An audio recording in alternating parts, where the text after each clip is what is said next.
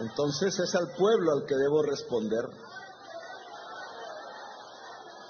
Tengan ustedes la absoluta certeza